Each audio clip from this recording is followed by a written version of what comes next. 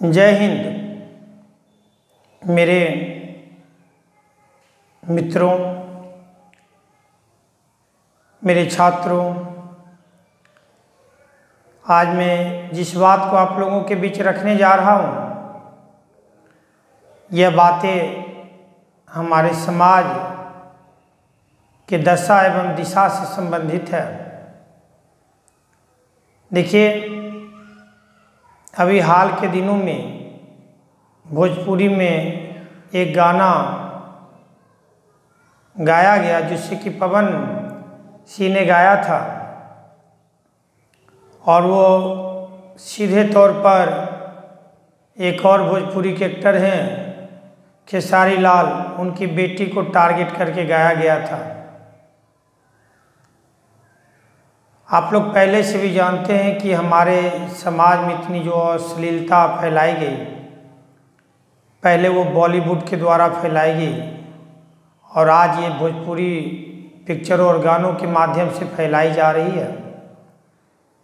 तो वो तो अलग मुद्दा है, पर अभी जो मैं वर्तमान मुद्दा पे आपसे बात कर रहा हूँ, वो है कि पवन कुमार के द्वारा गाया गया गाना कि बेटी सपनवा में आवे इस तरह के तथ्य जो हमारे समाज में आ रहे हैं यह अत्यंत ही निंदनीय है। निंदनीय इसलिए भी है क्योंकि किसी के बहन बेटी को इस तरह सरेआम सोशल मीडिया पर, न्यूज़ चैनलों पर जो आप एक तरह से ये हरासमेंट करने का काम कर रहे हैं, यह एक कानूनन अपराध भी है। अतः मैं पवन कुमार द्वारा गाए गए इस गाना की निंदा करता हूँ।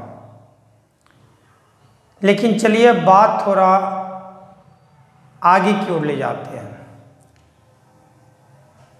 मैंने साफ़ साफ़ शब्दों में कहा कि पवन कुमार ने जो ये गाना गाया वो बिल्कुल ही गलत है। लेकिन क्या यह ठीक बात थी? जब भोजपुरी के अन्य कलाकार किसी दूसरे के बहन बेटी का नाम लेकर अश्लीलता समाज में परोस रहे थे? किस प्रकार आज 10 से 15 वर्षों में अश्लीलता का चरम सीमा भोजपुरी आर्टिस्ट नांगते जा रहे हैं। क्या यह सभी से छुपी हुई है क्या? रही बात, आज खुद पर आया तो आपने क्या किया? अपने पावर, अपने पैसा का दुरुपयोग करके आप उसे लाइव मार बैठते हो। लेकिन जिस समय आपने सानिया मिर्ज़ा से लेकर जो कि एक भारत की बेटी थी, रिंकी, पिंकी ना जाने कितने नामों पर आपने उल्टा सीधा गाना बनाया जिससे कि आज भी बराती में बजता है तो सब परिवार के लोग उस गाना को सुन नहीं सकते हैं। वो वहाँ से बगल हट जाते हैं। तो यह अश्लीलता पहले किसने परोसा था? आज आप दबंगई कर रहे हैं तो गड्ढा भी तो आप ही खो देते ना। आप ये कैसे सोच सकते हैं कि समाज में अश्लीलता परोस कर आप अपने घर के बहू बेटियों को, अपनी बहन को उस अश्लीलता से बचा सकते हैं? देखिए, मैं ये बार बार कहता हूँ कि मैं ये नहीं कह रहा कि पवन कुमार ने सही किया, वो बिल्कुल ही गलत किया। उसे कानूनन सजा दी जानी चाहिए थी। उसके अगेंस्ट में एफ़ की जानी चाहिए थी। तो ठीक है ऐसी स्थिति जब आपने सानिया मिर्ज़ा के बारे में गाना गाया था, उस समय आपके साथ भी होनी चाहिए थी। बड़े बड़े नाम जुड़े हुए हैं, जो आज अलग अलग पार्टियों में अलग अलग प्रदेशों के अध्यक्ष तक रह चुके हैं, जिन्होंने ना जाने कितनी गंदगियाँ अपने कला के नाम पर समाज को परोसी है।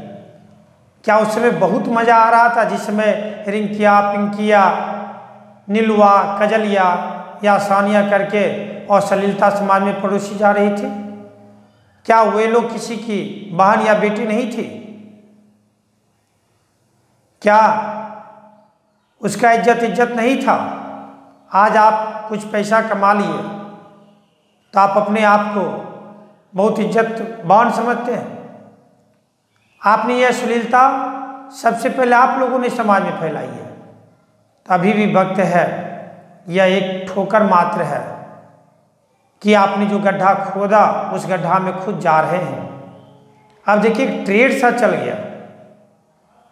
एक ट्रेड ऐसा चल गया कब एक किसी का नाम लेके गया और वो पॉपुलर हो गया, कोई बात से, गलत बातों से तो गलत अपना कर, नाम कमाने का ट्रेड सा चल गया। कितना तो गाने वालों की पता नहीं है जिसका नाम लेके वो गा रहे हैं, उसकी शादी हुई है कि नहीं, उसकी बेटी है या नहीं।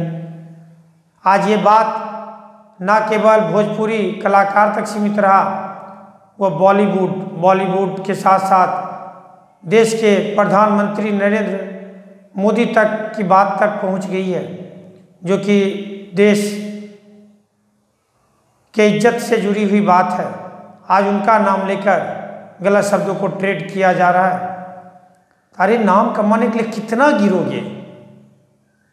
आप में यदि क्षमता है, आप सही करके नाम कमाओ ना। कोई अफजल, हम शर्मिंदा हैं, तेरे कातिल ज़िंदा हैं। भारत की बर्बादी तक जंग जारी रहेगी ऐसे ऐसे शब्दों से नाम कमाने जा रहे हैं। क्या फ़ायदा उस नाम का? क्या फ़ायदा उस नाम का जो हम अपने वतन के लिए नहीं हो पाए, अपने समाज के लिए नहीं हो पाए, समाज में अच्छाई नहीं पहुँच पाए? तो आज जो पवन कुमार के द्वारा यह गाया गया गाना है, मैं फिर कह रहा हूँ कि मैं इसकी निंदा करता हूँ। लेकिन भोजपुरी जगत जो कि समाज में अश्लीलता परोस रहे हैं, उसे ठोकर ले कि आप जो गड्ढा खोद रहे हैं, उसमें केवल समाज नहीं गिरेगा। बल्कि उस गड्ढा में आप भी गिरेंगे। और अभी से ही, देर ही सही लेकिन दुरुस्त आइए, अश्लीलता को हटाइए। ये कोई ज़रूरी नहीं है कि अश्लीलता के द्वारा ही आप पैसा कमा सकते हैं। अश्लील चीज़ को दिखाकर ही इंटरटेन किया जा सकता है। आज देखिए, एक पिक्चर बना था बाहुबली। देखिए, वो कितना रॉयल तरीका से उसने पैसा कमाया। कहाँ उसने अश्लीलता परोसी थी? लेकिन वर्तमान समय में एक ट्रेड चला दिया गया कि अश्लीलता ही कमाने का, नाम कमाने का एक ज़रिया है। देश को बदनाम करके ही नाम कमाया जा सकता है। और इसमें ना केवल भोजपुरी जगत, भोज या उस जगह से संबंधित लोगों का हिस्सेदारी है, बल्कि अलग अलग क्षेत्रों से आए हुए लोगों की भी उसमें हिस्सेदारी बढ़ रही है। अतः मैं प्रकाश कुमार, आप लोगों से एक सामाजिक कार्यकर्ता के रूप में निवेदन करना चाहता हूँ, हाथ जोड़ कर निवेदन करना चाहता हूँ कि समाज में जो आप अश्लीलता फैलाने का काम कर रहे हैं, इससे अभी भी मुख मोड़ लीजिए। आज आपको ताकत थी तो एक पवन कुमार को रोक दिया, लेकिन जब पूरा समाज अश्लीलता में आ जाएगी तो आप किस किस का मुँह पकड़ पाओगे? नहीं पकड़ पाओगे। अभी देखिए, जब भी मैं इतना व्यथित हूँ कि आप सोच नहीं सकते, जब भी फेसबुक खोल रहा हूँ व्हाट्सएप खोल रहा हूँ, चाहे यूट्यूब खोल रहा हूँ, सब पर इसी तरह के गाना का भरमार आ रहा। है अरे अच्छा गाना तो था।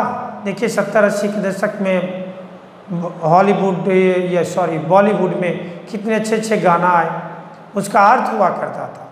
कहाँ वो किसी की बुराई कर रहे कहाँ किसी की बहन बेटी की धज्जिया, सरिया उड़ा रहे हैं पैसा कमाने के लिए? तो खेसारी लाल से लेकर जितने भी कलाकार हैं, चाहे नए कलाकार हैं या पुराने कलाकार हैं भोजपुरी जगत के, और साथ ही साथ हॉलीवुड और बॉलीवुड में जो भारतीय काम कर रहे हैं, मुख्य रूप से बॉलीवुड में 90 परसेंट भारतीय काम कर रहे हैं, हॉलीवुड में भी कुछ भारतीय काम कर रहे हैं तो उनसे भी हाथ जोड़कर निवेदन करना चाहता हूँ कि कृपया यदि वहाँ पर भी समाज को अश्लील बनाने के लिए कोई पिक्चर है, उसमें कोई कंपोनेंट है तो आप उसका विरोध करें, वैसे पिक्चरों को, वैसे गानों से, उस प्रकार के चित्रों से अपने को दूर रखें। इसी शब्दों के साथ मैं अपनी वाणी को विराम देता हूँ। धन्यवाद।